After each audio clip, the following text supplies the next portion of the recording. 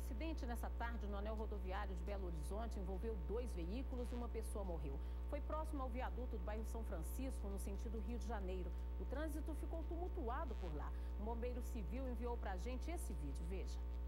Uma colisão entre a caminhonete D20 e um Sandero Stepway vermelho. Essa colisão deixou uma vítima fatal porque infelizmente o mesmo não estava usando cinto, foi projetado para fora e não resistiu aos ferimentos. Estamos aqui eh, tendo apoio aqui da Polícia Rodoviária, Rodoviária Estadual de Minas Gerais, aonde também teve o apoio aqui do resgate aqui do USA SAMU 01. Eu, Denis Aparecido Valério, bombeiro civil, auxiliei aqui nos primeiros socorros, chegando primeiro e logo posteriormente o SAMU e fizemos aqui um trabalho em conjunto para auxiliar as vítimas. O motorista da caminhonete com suspeito de fratura na perna direita. Fica aqui o aviso para a sociedade usar o cinto de segurança que ele salva vidas.